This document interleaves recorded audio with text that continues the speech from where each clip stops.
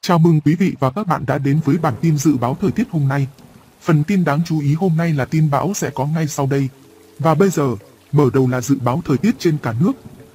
Thưa quý vị và các bạn, ngày hôm nay, nắng trải dài hầu khắp các tỉnh từ Bắc Bộ đến Trung Bộ, với nhiệt độ cao nhất từ 32 đến 35 độ, có nơi trên 35 độ. Tuy nhiên, về chiều tối và đêm, người dân ở các khu vực này cần đề phòng có mưa rào và rông. Trong mưa rông có khả năng xảy ra lốc, xét và gió giật mạnh.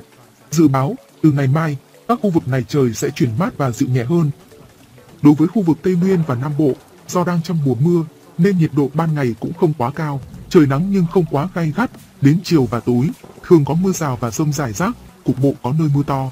Trong mưa rông có khả năng xảy ra lốc, xét và gió giật mạnh.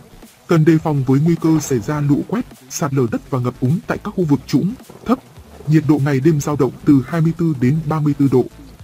Tiếp theo là phần tin bão. Thưa quý vị và các bạn, đêm qua, áp thấp nhiệt đới trên vùng biển hòn đảo Ogasava đã mạnh lên thành bão và có tên quốc tế là Hinamno.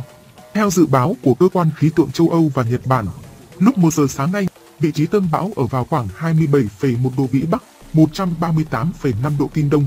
Sức gió mạnh nhất vùng gần tâm bão mạnh cấp 8, tức là khoảng 62 đến 74 km h giật cấp 10.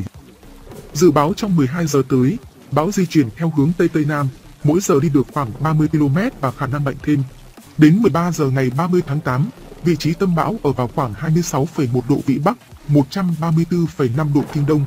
Sức gió mạnh nhất vùng gần tâm bão mạnh cấp 9, tức là khoảng 75 đến 88 km h giật cấp 11.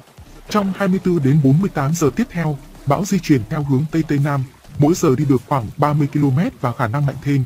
Đến 13 giờ ngày 31 tháng 8, vị trí trung tâm cơn bão ở vào khoảng 24,5 độ Vĩ Bắc, 129,5 độ Kinh Đông. Sức gió mạnh nhất vùng gần tâm bão mạnh cấp 12, tức là khoảng từ 118 đến 133 km h giật cấp 14. Trong 48 đến 72 giờ tiếp theo, bão di chuyển theo hướng Tây Nam, mỗi giờ đi được 15 đến 20 km và khả năng mạnh thêm. Đến 13 giờ ngày 1 tháng 9, vị trí tâm bão ở vào khoảng 22,2 độ Vĩ Bắc, 127,5 độ Kinh Đông, cách Đài Loan Trung Quốc khoảng 650 km về phía đông đông nam. Sức gió mạnh nhất vùng gần tâm bão mạnh cấp 13, tức là khoảng 134 đến 149 km h giật cấp 15. Thưa quý vị và các bạn, theo dự báo của Trung tâm Khí tượng Nhật Bản và châu Âu, cơn bão này có thể mạnh thêm và đạt sức gió cực đại lên đến 185 km h tương đương với cấp 16, cấp siêu bão. Tuy nhiên, tình hình còn nhiều biến đổi phức tạp và khó lường.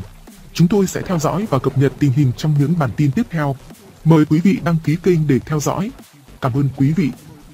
Thưa quý vị và các bạn, theo dự báo của chuyên gia khí tượng thủy văn quốc gia, trong vòng một tháng tới, có thể xuất hiện từ 2 đến 3 xoáy thuận nhiệt đới, có thể là áp thấp nhiệt đới hoặc bão, hoạt động trên khu vực Biển Đông và ảnh hưởng đến thời tiết đất liền nước ta.